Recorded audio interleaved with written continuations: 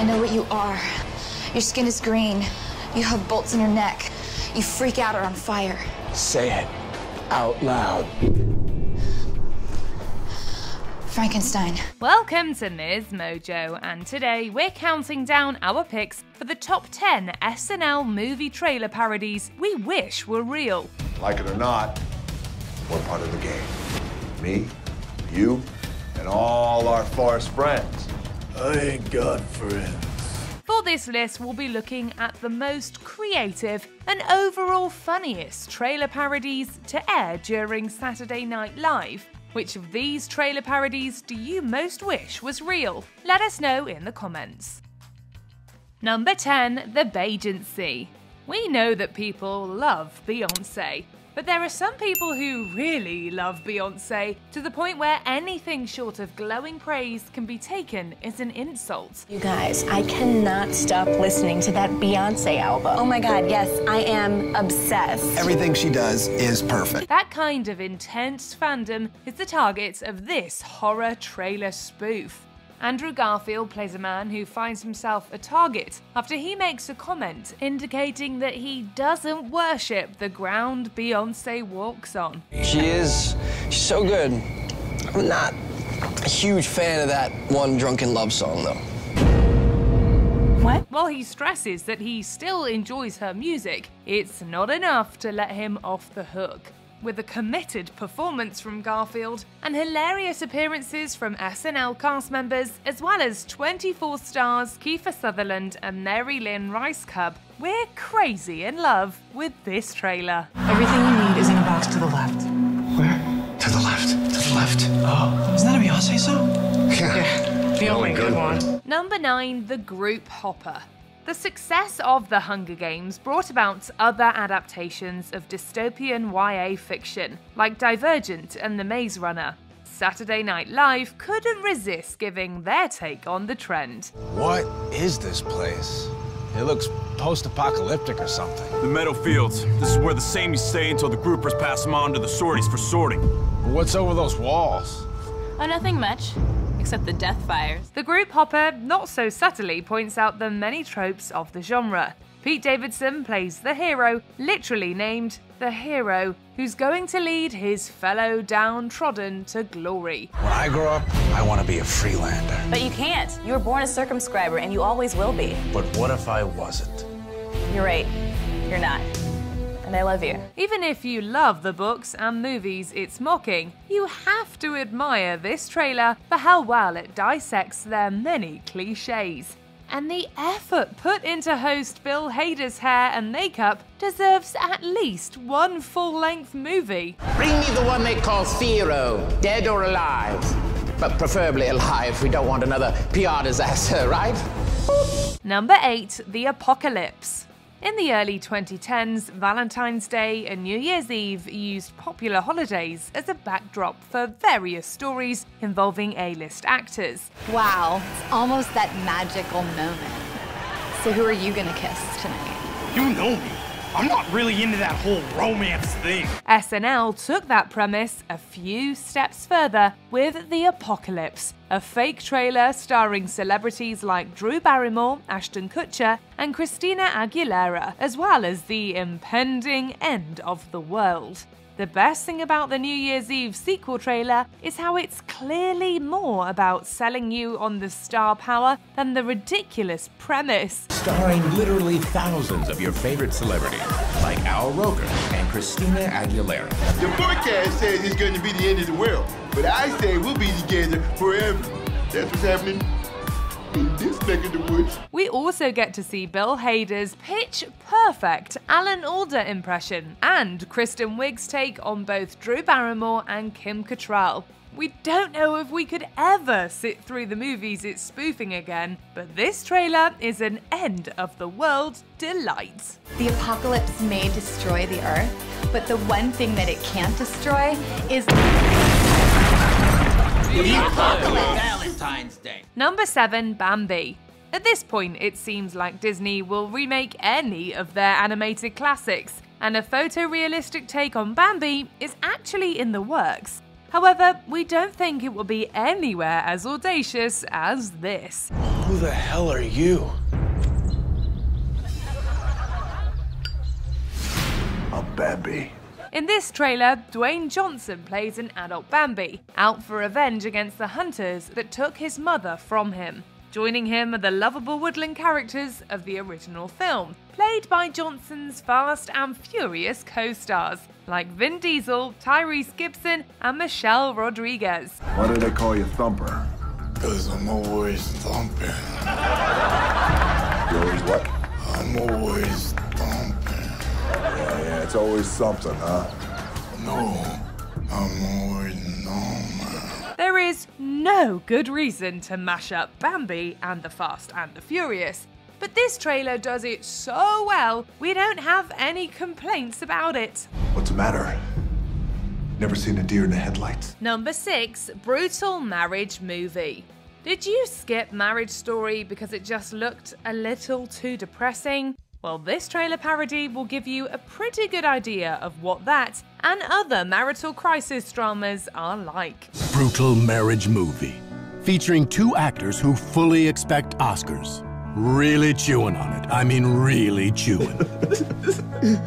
Cut for time, this trailer stars Rami Malek and Heidi Gardner as a married couple who have fallen out of love but rather than end things maturely, they instead prolong their misery. My life is here. And my life is there. So, break up? No. No, we just want to fight a little more until we fall in love again. This trailer does a great job of portraying the intense shouting matches and crying common in these kinds of movies, and Malek and Gardner make a great dysfunctional couple. This trailer may not be wedding bliss, but it sure is funny. And they're crying again. Brutal marriage movie. Just get a divorce. Number five, Don't You Go Round and Round to Rero. Have you ever seen a movie that you desperately need subtitles for, despite it being in English? Do you really feel that you're rehabilitated, Mr. Donovan? Yeah, that's right then you'll be cracking up at this trailer, which spoofs British crime thrillers and the unique accents of their cast. If you don't do what we say, Charlotte's here with no nary you. Bill Hader stars as an Englishman trying to go straight after leaving prison, but who finds himself back in a life of crime. But this trailer is mostly about the hard to pass accents common in these kinds of films, with British host Russell Brand poking fun as well. Comes the toughest, grittiest, most British crime drama of the year. Don't go round round me, row. Don't you go round and round to re We're not quite sure what they're saying, but we know exactly what they're going for. Number 4. Give us all our daughters back. Box office hits like Taken and The Expendables showed that actors well past middle age could still be convincing action heroes. And this trailer parody is a perfect send up of these absurd premises. But those are the children of the most ruthless CIA assassins in the world! Then get ready for all your favorite revenge movie action stars combining forces in Give Us All Our Daughters Back. When all of their children are kidnapped, some determined CIA operatives spring into action with predictably violent results. Among the aging action stars spoofed in this cast are Liam Neeson, Denzel Washington, and Arnold Schwarzenegger. I've got to get out of here! I've got to save my son! Not that son, the one in this movie! Oh, I'm so sorry, Maria. Buy my book. There are plenty of explosions, gunfires, and angry phone calls delivered with impossibly husky voices. We don't know if we find these guys intimidating, but they're definitely amusing. Give us all our daughters back. Come on, you'd see it. Number three, Djesus Uncrossed. Quentin Tarantino movies are pretty easy to identify. While the acclaimed director didn't make this trailer parody, we think he'd appreciate the efforts. Guess who's back? Djesus uncrossed. He's risen from the dead.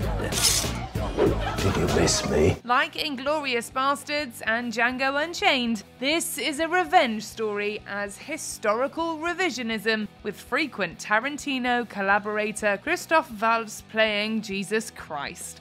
Also in the cast are stars like Brad Pitt, Ving Rhames, and of course, Samuel L. Jackson. Jesus, oh, chill, man, chill. This trailer both spoofs and tributes the over the top nature of Tarantino movies, though without anywhere near their level of profanity.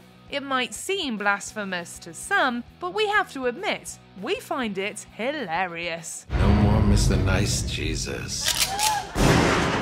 Number 2 The Midnight Coterie of Sinister Intruders. Another director with an unmistakable style is Wes Anderson, but he yet hasn't brought his flair for whimsy and elaborate set design into the world of horror. It's The Midnight Coterie of Sinister Intruders, starring Owen Wilson as a man in danger. Wow, what the heck? There's a bunch of crazy people standing in our yard. If he ever did, it would probably look something like this trailer, which stars one Anderson collaborator, Edward Norton, as another collaborator, Owen Wilson. There's something unusual going on next door, but it's hard to feel too intimidated when the colours are this vivid. Hey, they've sent us some kind of communique. Dear homeowner, can we kill you? the murderers.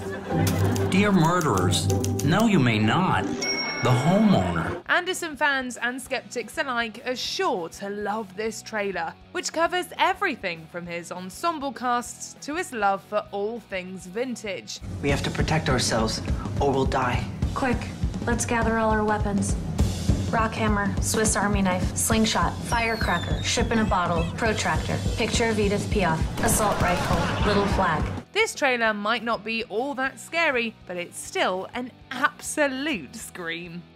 Before we continue, be sure to subscribe to our channel and ring the bell to get notified about our latest videos. You have the option to be notified for occasional videos or all of them. If you're on your phone, make sure you go into your settings and switch on notifications.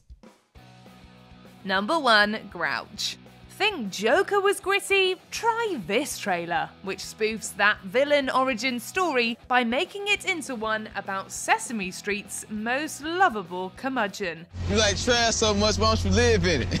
Why don't you bite me? Damn, Oscar, why are you such a grouch, man? David Harbour plays Oscar, a sanitation worker disillusioned with the crime and violence in his home of Sesame Street. So he decides to give in to the darkness and take refuge in refuse, becoming Oscar the Grouch. If everyone calls you trash, and everyone treats you like trash, why don't you just become trash? This trailer recreates multiple iconic moments from the Joker trailer with stunning accuracy and also reimagines beloved Sesame Street characters like Ernie and Big Bird with less family friendly connotations. Wholesome? Not so much. Hilarious? Absolutely. Would you do me one favor? Would you call me the Grouch? brought to you by the letter R. Scram! Do you agree with our picks? Check out this other recent clip from Ms. Mojo. And be sure to subscribe and ring the bell to be notified about our latest videos.